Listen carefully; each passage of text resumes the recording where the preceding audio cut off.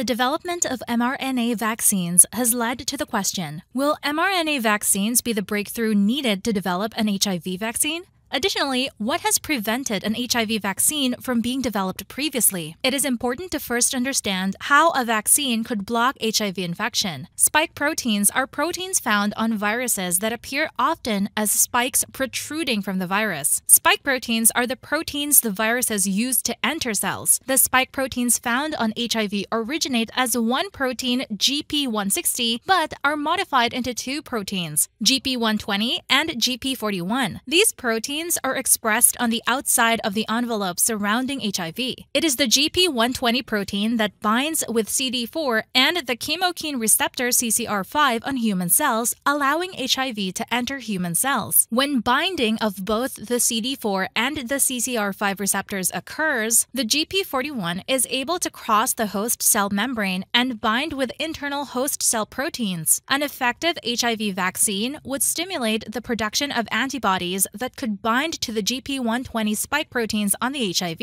Antibodies binding the GP120 protein would block the HIV from entering the cell. However, there is more than one challenge in producing such antibodies. First is the fact that HIV is an RNA virus. This directly affects how HIV is able to enter and infect cells. After entering a cell, the DNA from the virus integrates into the DNA of the cell. However, considering some viruses such as HIV are made made of RNA, the question may arise how can a virus made of RNA infect cells? The answer is that RNA viruses have an additional step that other viruses don't the step of reverse transcription carried out by the enzyme reverse transcriptase. Reverse transcriptase produces DNA copies of the RNA virus. Now that the genes from the RNA virus are in the form of DNA, the genes from the virus are able to infect the DNA of the host cell. However, the reverse transcriptase enzyme often does a poor job of copying the viral RNA. This results in DNA copies of the viral RNA that are mutations or changes from what the original RNA version of the virus coded for. If these mutations affect the genes for the spike proteins, such as GP120, it means the spike proteins will have a different shape than what the original spike proteins were shaped as.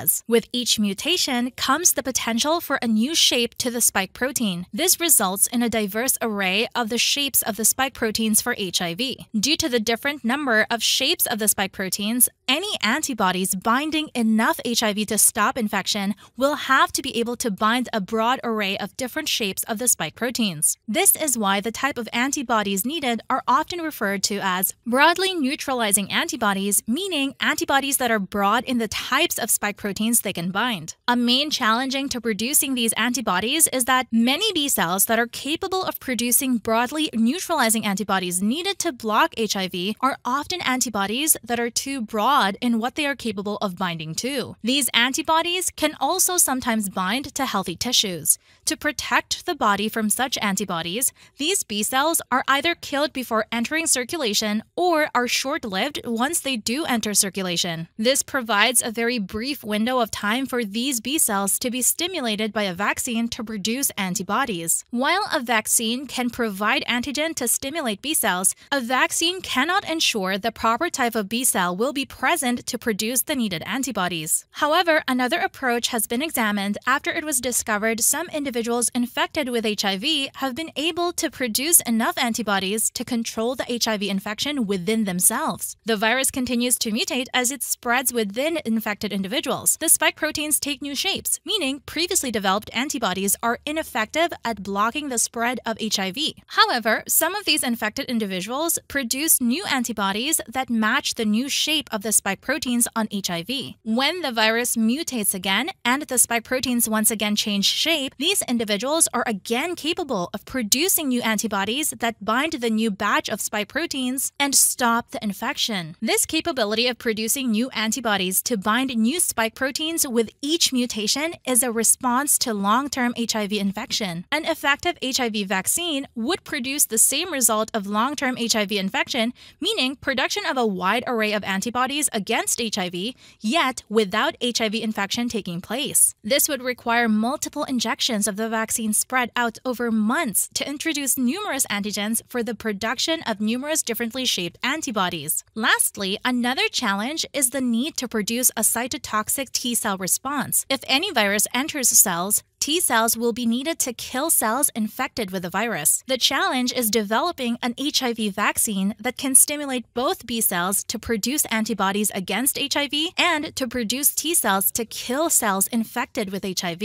This challenge, however, highlights how mRNA vaccines are at an advantage over other types of vaccination. One of the greatest benefits of mRNA vaccines is the ease of production. Often, a new mRNA vaccine can be produced in as little as four days. Other types of vaccines can often take months to develop. This can allow for much more rapid development of a vaccine that stimulates B cells and a booster shot of the vaccine to stimulate T cells. This would also address the challenge of needing several booster shots to produce a wide array of antibodies. Considering the large number of antigens that would need to be produced for the booster shots of the HIV vaccine, the ease of production could simplify generating the numerous antigens for the numerous injections needed. An additional benefit of mRNA vaccines is that mRNA vaccines last longer in circulation than other vaccine types. Protein vaccines can be entirely degraded within five days of injection. In contrast, some studies have shown that the antigen from mRNA vaccines can still be present up to five months after injection. While the B cells that produce broadly neutralizing antibodies are short lived, the antigen from the mRNA vaccine is long lasting. This can allow a greater amount of time for the antigen antigen to be available to stimulate short lived B cells. Lastly, while the genes for the GP120 protein may mutate, the number of mutations is not endless. The mutations must be limited to a shape that still allows for the GP120 to infect cells. Thus, while there are numerous challenges to producing an effective HIV vaccine, mRNA vaccines may offer some hope.